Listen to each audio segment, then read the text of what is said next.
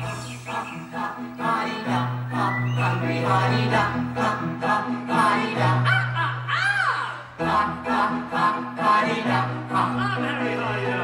who said you could sing my song with my